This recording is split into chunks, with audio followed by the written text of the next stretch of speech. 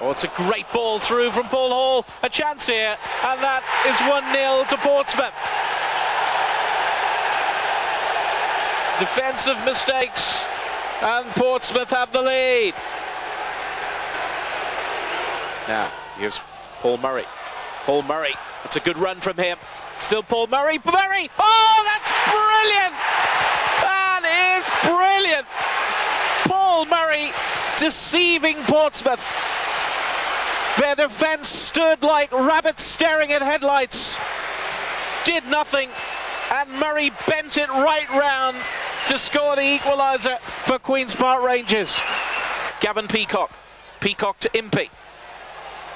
Played through. John Spencer's in there. John Spencer. John Spencer! Oh! Is it given? It is.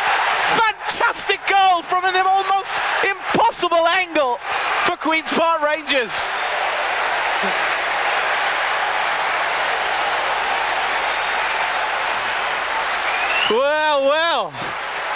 John, John, John Spencer. Superb goal.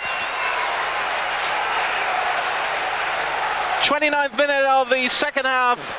Queen's Park Rangers 2, 10 man Portsmouth 1.